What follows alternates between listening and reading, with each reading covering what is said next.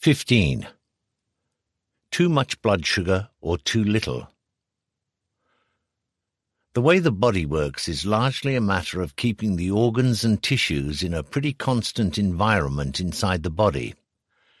Anything, for example, that makes the level of sugar, glucose, in your blood fall below normal or rise above normal is promptly followed by actions that restore it to its original level.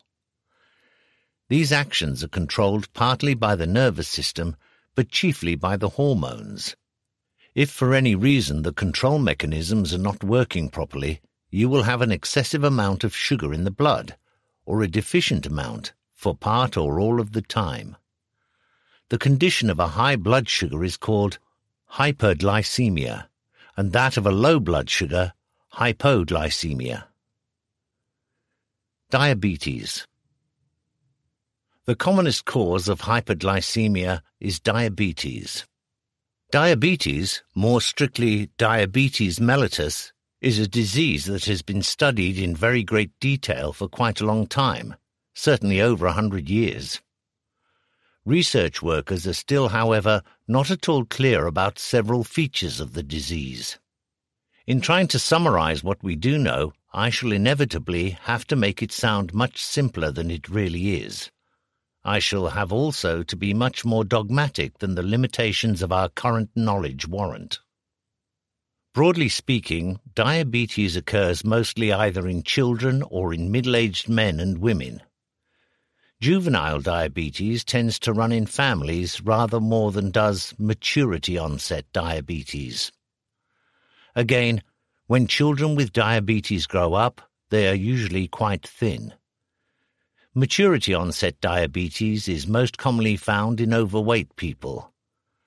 Most patients with juvenile diabetes respond well to treatment with insulin, while most of those with maturity onset diabetes are more resistant to the action of insulin. As a result, it is now more usual to classify patients as insulin dependent or non-insulin dependent. Yet another way of classifying diabetes is into type 1 and type 2. However, in practice, it is quite common, especially among non-white, non-Caucasian patients, to find individuals who do not clearly belong to either of these types. Soon after von Mering and Minkowski showed in 1890 that diabetes could be produced in the dog by the removal of its pancreas, it became evident that groups of cells in the pancreas called the islets of Langerhans were responsible for producing a substance that prevented diabetes. An effective preparation of this substance was made by Banting and Best in 1921. The substance was given the appropriate name insulin. Insula is the Latin word for island. It was natural then to imagine that all cases of diabetes were caused by a failure of the islets of Langerhans to produce enough insulin. But it is now known that this is not always true. On the whole, such a failure is the most common cause of type 1 diabetes, but not of type 2. The latter condition is often due to an insensitivity of the cells of the body to insulin one of the most important actions of insulin is that of enabling the cells to utilize the glucose from the blood, which is their main source of fuel. If, however, the cells have become insensitive to insulin, the pancreas produces more and more insulin in order to counteract the insensitivity. It used to be usual to treat all forms of diabetes with injections of insulin. Nowadays, however, it is more common to treat type 2 diabetes patients with drugs by mouth. These drugs mostly fall into two groups those that increase insulin secretion by the pancreas, and those that seem to increase the sensitivity of the cells to the insulin that is already being secreted by the pancreas.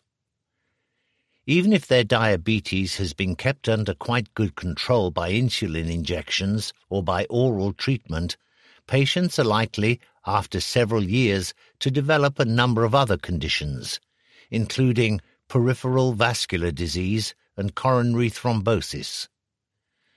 In addition, diabetes can result in diseases of the eye, cataract and retinitis, and disease of the kidney. No one quite understands why these complications arise, although it may be partly because of long-standing abnormal blood sugar levels or because of other abnormal substances in the blood, such as ketone bodies. As I shall show in Chapter 19, there is reason to believe that arterial disease may arise from a continuing high level of insulin. I shall then discuss the interesting association between diabetes, overweight, and arterial disease, and the fact that people with any of these conditions are likely to have excessive insulin in the blood. There are several reasons why I believe that eating too much sugar is one cause of diabetes, mostly of type 2 diabetes, but possibly type 1 too. First, there is the epidemiological evidence. Much of it parallels what I have already cited for coronary thrombosis, but here the evidence is fraught with even more difficulties. In some ways, one could have expected an association between diabetes and dietary sugar, or any other environmental factor, to be simpler than that for coronary thrombosis, because diabetes is more readily diagnosed during life. But in fact, not many countries have the facilities for the large-scale and fairly elaborate surveys that would be needed to detect early diabetes. And as for mortality statistics, the difficulty here is that people with diabetes often die of one or other of the many complications of the disease, and the death may then be certified as having been due to the complications rather than to the diabetes itself so science is on rather uncertain ground about the prevalence of diabetes, and I can only give you the views that are commonly but not universally held by the experts.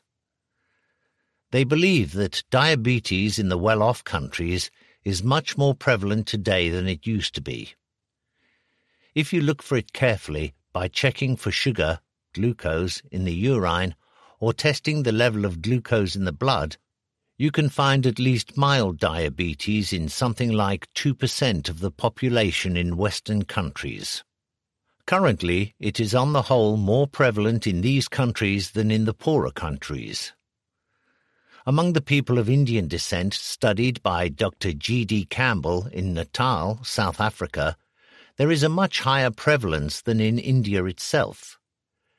The average intake of sugar in Natal is said to be 110 pounds or more a year.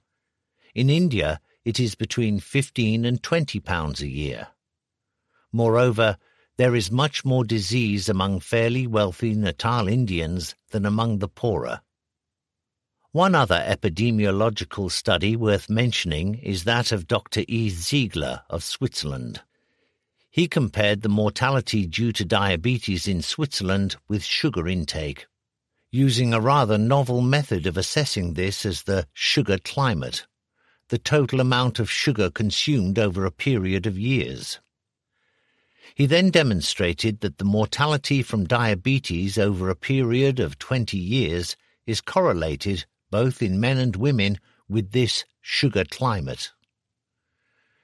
The view that diabetes may be caused by eating sugar has long been held by many people. The name sugar diabetes, of course, refers to the fact that sugar, glucose, is found in the urine of affected persons. But people also take the name to refer to dietary sugar as a cause of the disease, as well as to one of its symptoms.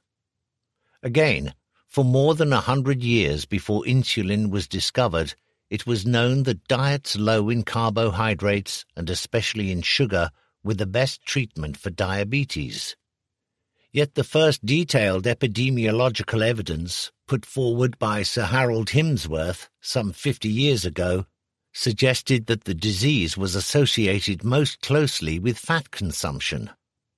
He showed that the mortality from the disease in different countries was often proportional to the average amounts of fat in local diets. But he himself expressed surprise that this was so, knowing that a diet high in fat was the currently accepted treatment for the disease. Himsworth wrote, The dietary factor which parallels these changes in mortality and prevalence of diabetes most closely is the consumption of fat, and this correlation is surprisingly consistent. We are thus left with the paradox that, though the consumption of fat has no deleterious influence on sugar tolerance, and fat diets actually reduce the susceptibility of animals to diabetogenic agents, the incidence of human diabetes is correlated with the amount of fat consumed. Looking at the problem again some years later, I wondered whether Himsworth's difficulty arose from making the common assumption that all carbohydrate was equivalent. Since total carbohydrate consumption is similar in most countries, there was no reason to suspect carbohydrates as a cause of diabetes. But when you consider the different forms of carbohydrate, then you find that the prevalence of diabetes is more closely related to the amount of dietary sugar than to dietary fat.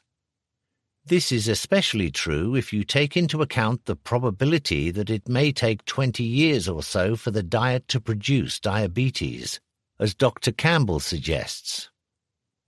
When I related the number of people dying of diabetes in different countries to the amount of sugar or fat that was eaten some 20 years earlier, I found a high correlation with sugar and no correlation with fat.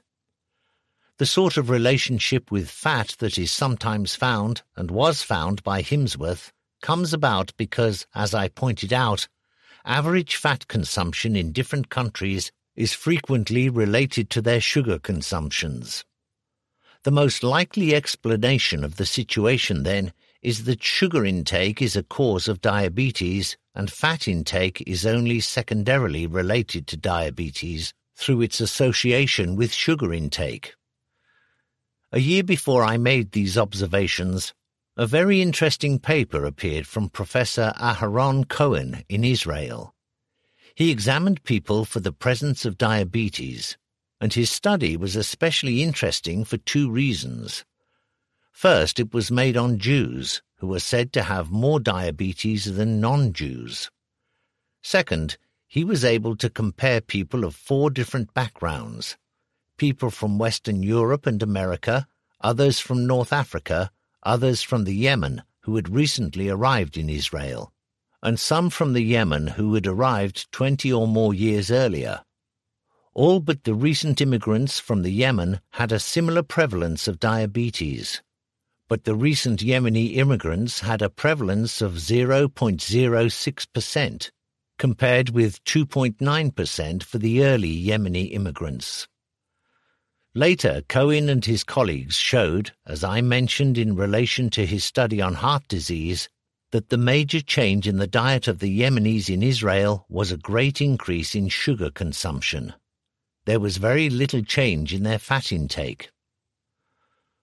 While I was in the process of revising this section of Pure White and Deadly for the current edition, a paper appeared in the British Medical Journal reporting a survey of the prevalence of diabetes in 34,000 Asians and 27,000 Europeans living near London.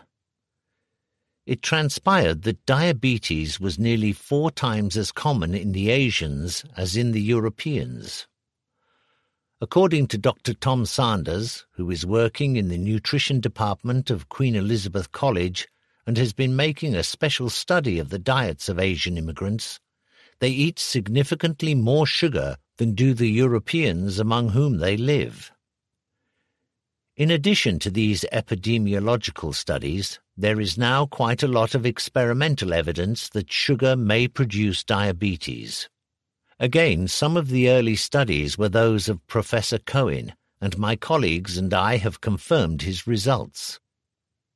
Rats fed with sugar develop a decreased glucose tolerance, resembling the condition seen in diabetes. That is, when a dose of glucose is given by mouth to a fasted animal, the already high level of glucose increases to a still more abnormal level and does not return to the fasting level within the usual one and a half to two hours. Cohen showed that this impairment of glucose tolerance occurred in rats after three weeks or so, when there was 67% sugar in the diet, after six weeks when it contained 40% of sugar, and after about 13 weeks with 33% sugar. The glucose tolerance recovered after a few days on the normal diet. When sugar feeding was resumed, it deteriorated again, but this time after only a few days. Later, Professor Cohen worked for a few months in my department, and again we studied the effects of feeding sugar to rats. This time we injected tolbutamide, one of the drugs used in the treatment of diabetes. This stimulates the pancreas to secrete insulin, which lowers the blood glucose level. We argued that if the sugar diet had made the rat somewhat diabetic, it would not be using glucose as well as it normally did.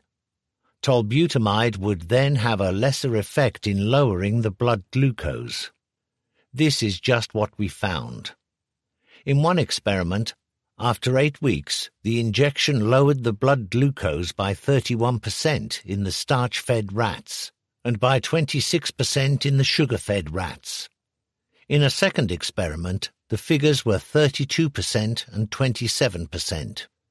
In human subjects, a high sugar diet maintained for several weeks had been shown to reduce sugar tolerance, and a low sugar diet for several weeks has been shown to improve it.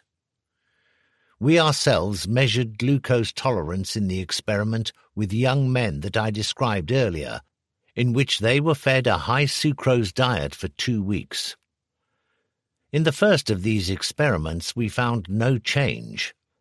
In the second experiment, we found an improvement in glucose tolerance after one week and a slight reversion toward the normal after the second week. This may seem strange. In fact, it is not at all surprising. The first effect of the sugar would be to improve the body's use of glucose by the common process of adaptation. It would do this either by improving production of insulin from the pancreas or by improving sensitivity of the body tissues to the action of insulin. But by continuing to give a high sugar diet, adaptation would diminish and exhaustion take its place, and the use of glucose would now be less than normal. Thus, the improvement in glucose tolerance that we showed after one week would not contradict the deterioration that people found after several weeks, nor would there be a conflict in the fact that we found no change in our first experiment. We might very well have made our measurements at a point where developing deterioration just about cancelled out the initial improvements induced by the sugar. Apart from the decreased glucose tolerance that is found in diabetes, there are other noteworthy characteristics of the disease. At this point it will be convenient to discuss these in some detail in relation to the experiments that we and others have done with sugar. Long-standing diabetes often causes deterioration of vision because of the development of abnormalities in the retina, a condition known as diabetic retinopathy or retinitis. Several years ago, Professor Aharon Cohen showed that dietary sugar produced abnormalities of the eye in the rat. By using a very delicate technique that measures the electrical response of the retina to a flash of light, he and his colleagues found a diminished response in rats fed sugar. This observation was followed by a more detailed study by a London group that included one of my colleagues. They concluded from careful biochemical and microscopic examination that the retinal abnormalities produced by the sugar were identical with those found in diabetic rats. As well as producing an increase in the size of the liver, sugar in the diet also results in enlargement of the kidneys. Quite early on in the story of the research into the effects of dietary sugar, Professor Aharon Cohen showed that the kidneys of his sugar-fed rats were abnormal, with, among other things, an increase of fibrous tissue between the blood capillaries. After this discovery, we ourselves became increasingly interested in the effects of sugar on the kidneys. There were two reasons for this.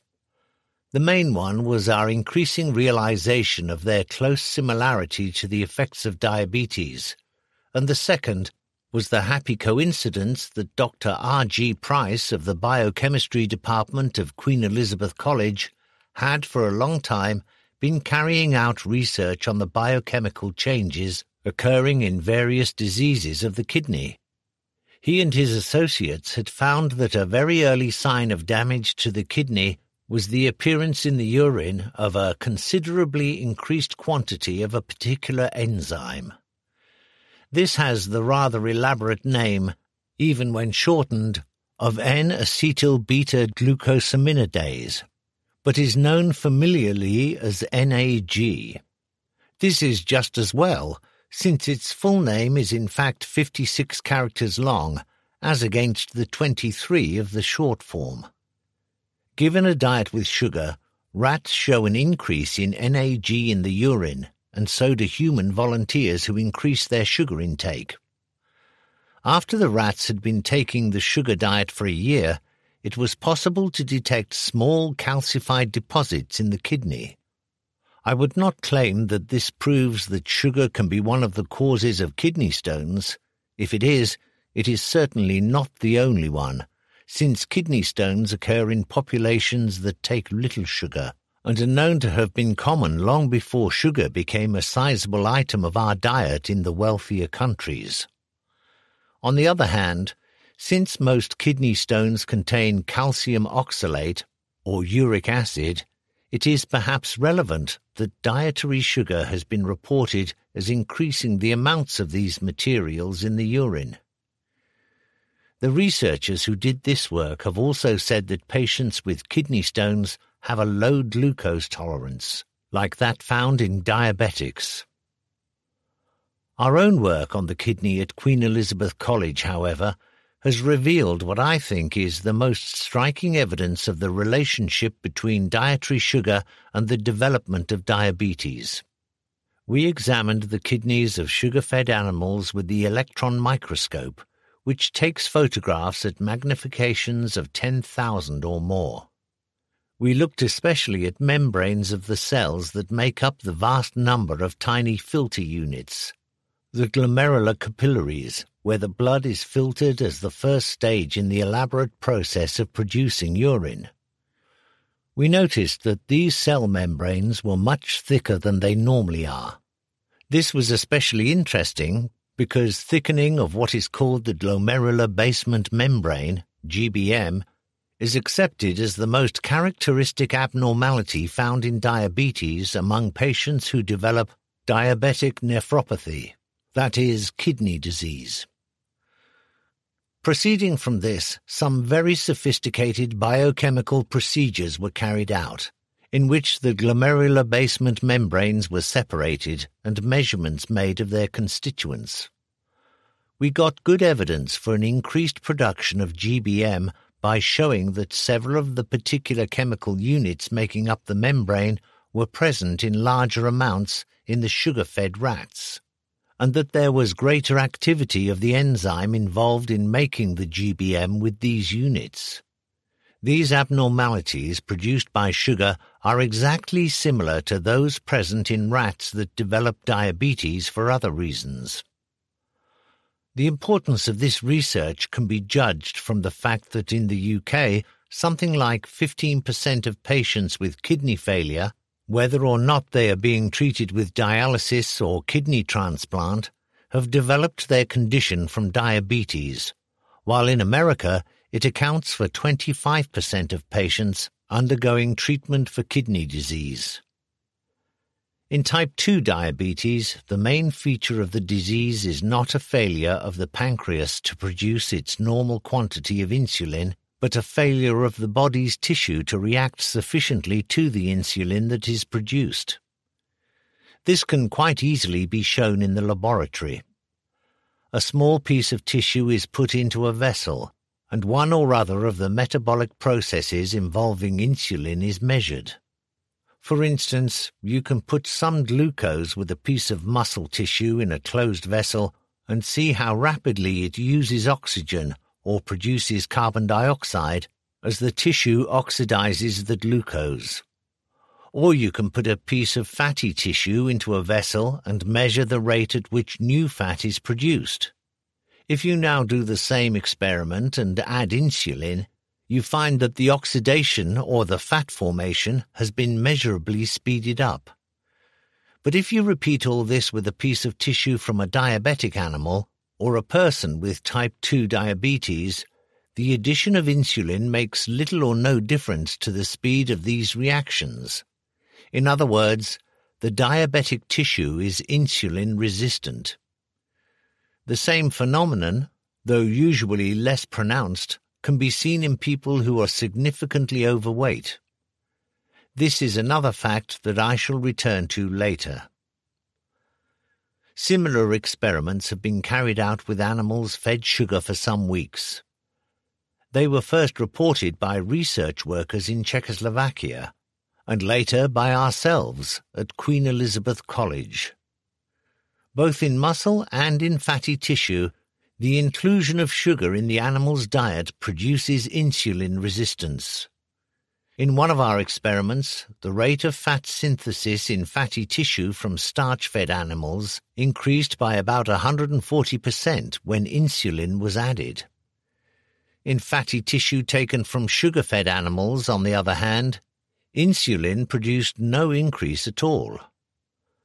The difference between the effects of short-term feeding of sugar and the effects of longer-term feeding can be important, although they are often ignored. It is commonly said that the concentration of glucose in the blood before breakfast, the so-called fasting blood glucose concentration, which is elevated in diabetics, is not affected by adding sugar to a meal on the previous day. Nor does this affect the glucose tolerance, the response of blood glucose concentration to a dose of glucose, nor the simultaneous response of the insulin concentration. But this must not be taken to mean that sugar may be consumed by a diabetic, even in moderate quantities, as a regular part of the diet. As we have seen it, it only requires the regular consumption of sugar each day for two or three weeks to produce a significant decrease in glucose tolerance, and in susceptible people, a significant increase in the insulin concentration in fasting blood. Unfortunately, a lot of the recent research that claims that a diabetic can take sugar with impunity depends on the results of tests with sugar given in a single meal. Finally, I should like to mention the relationship between diabetes and coronary disease, which works both ways. On the one hand, if you are a diabetic, you have a greater than normal chance of suffering from coronary disease. On the other hand, if you have coronary disease, you have a greater than normal chance of developing diabetes, or at least of having an impaired glucose tolerance that is sometimes called preclinical diabetes. I believe this sort of overlap is important when you come to try to understand how sugar can be involved in causing these two diseases. Hypoglycemia. The people who know this condition best are diabetics. Sooner or later, they run into the situation of having taken too much insulin or too much of one of the new oral drugs and they get the very uncomfortable symptoms of hypoglycemia, a low blood glucose level, sometimes even leading to unconsciousness. But hypoglycemia also occurs in many people who are not diabetics, although they rarely get it so severely as to become unconscious. You begin by feeling hungry and weak, and you may begin to sweat. You may then start shaking feel faint and dizzy, and get a severe headache. If the condition persists, you may get mentally confused, stagger about, and speak indistinctly or nonsensically. At this point, you could even be arrested for being drunk and disorderly. All these symptoms have arisen because your blood glucose has fallen to an abnormally low level. It is easy to understand how this happens to diabetics who may have taken their insulin or a pill to lower the blood sugar, and then missed their normal breakfast because of some interruption. It is also easy to understand how it occurs in the rare circumstances when a patient has a tumor of the pancreas, causing an overgrowth of its insulin-making cells. The way it happens in other people is most commonly because of the consumption of a lot of carbohydrates, especially sugar. The effect of eating any meal is to increase the level of blood sugar. If sugar or starch or glucose is in the meal, then all or part of it turns up in the blood quite quickly as glucose. If protein or fat is in the meal, then their digestion products too will be in part converted into glucose but more slowly. In addition, they slow down the absorption of all food. The rise in blood glucose is only temporary because one of its effects is to stimulate the pancreas to produce more insulin. This causes both an increase in the breakdown of the blood glucose and an increase in its conversion into glycogen to be stored in the muscles and liver. As a result, the level of glucose falls back toward normal. A more than normally rapid absorption of a great deal of glucose occurs if a lot of sugar is consumed, especially if it is taken between meals, when there are no other food constituents in the stomach that might delay absorption. There is then a rapid rise of blood glucose, and an excessive amount of insulin is secreted. Because of this, the subsequent fall of blood glucose is excessive. The level becomes abnormally low, and if it is low enough, symptoms of hypoglycemia will appear. There is some evidence, too, that continued high intake of sugar can, at least for a time, result in an increased sensitivity of the pancreas, so that it responds more readily still with increased secretion of insulin and hypoglycemia becomes even more likely. How then do you treat hypoglycemia? Well, if you don't bother to think out the consequences of the process I have just described, clearly you treat a person with low blood sugar by giving them a lump of sugar to eat or a sugary drink, and the effect is pretty miraculous. Within a few minutes all the sweating and weakness and dizziness disappear.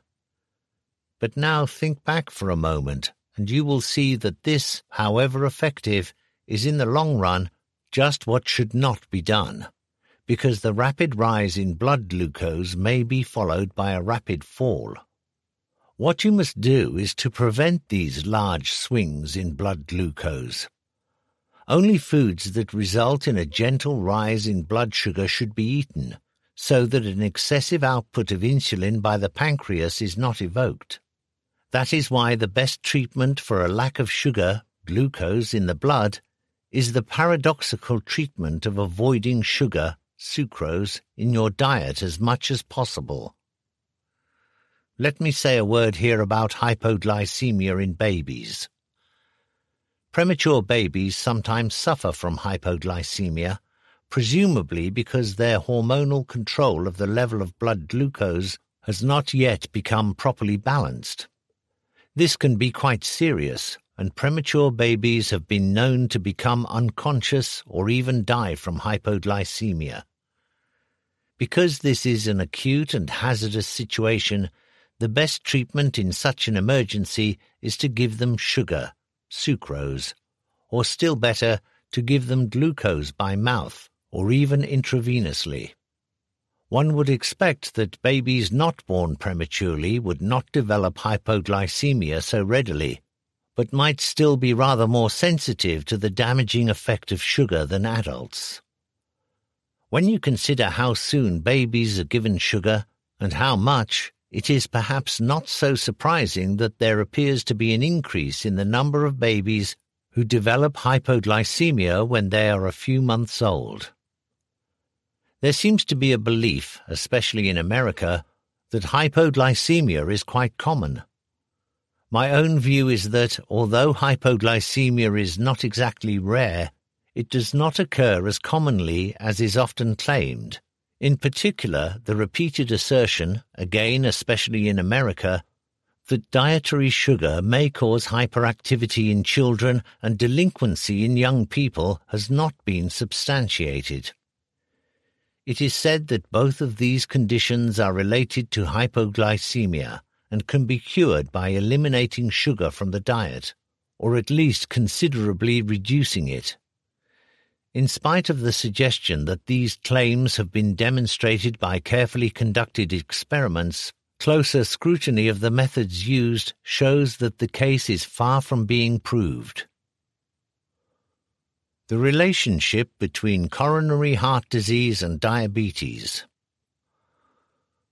I have described in some detail why I think sugar is one of the causes of diabetes and also of coronary thrombosis.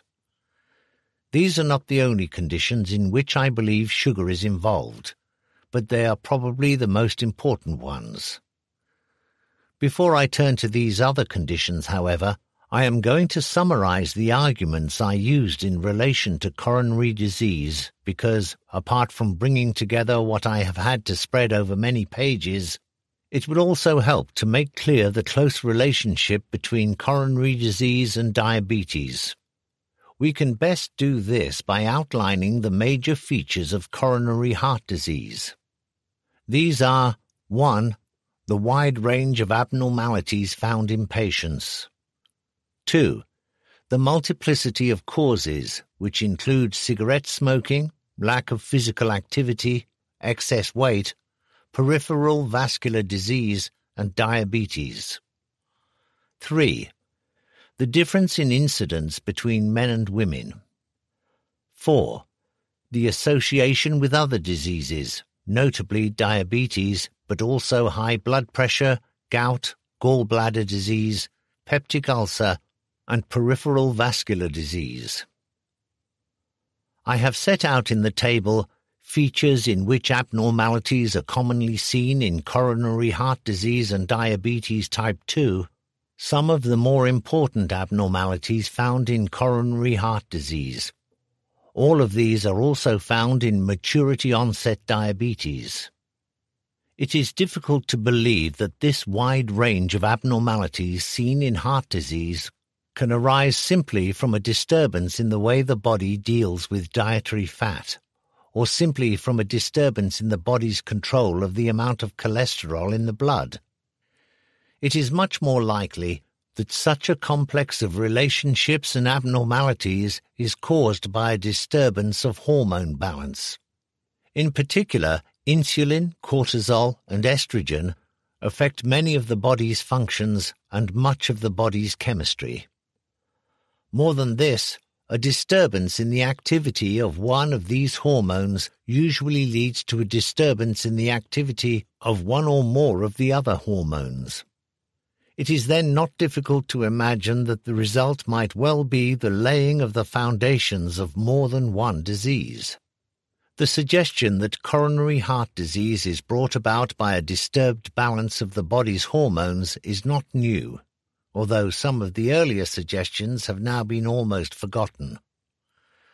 The possible role of hormones may be inferred almost automatically from the considerable protection women have before the menopause. The original suggestion about hormone involvement was made as long ago as 1956.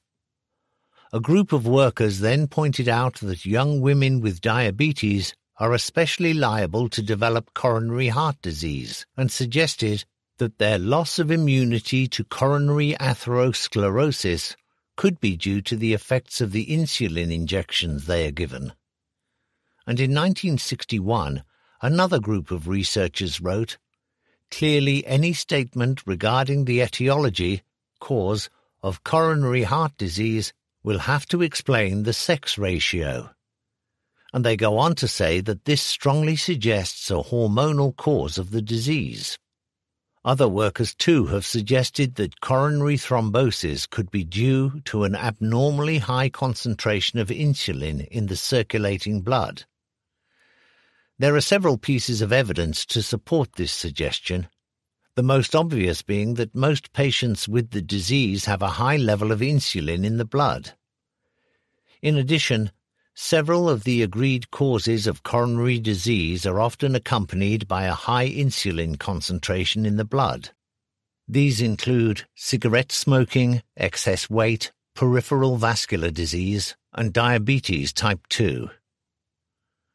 Thirdly, loss of excess weight and increased physical activity, both of which reduce the risk of developing coronary disease, result in a fall in insulin levels. Fourthly, experiments with rats have shown that administration of insulin produces an increased amount of cholesterol deposited in the body's main artery, the aorta. As for sugar, the most relevant fact is that every one of the abnormalities seen in coronary heart disease and in diabetes can be produced by the inclusion of sugar in the diet.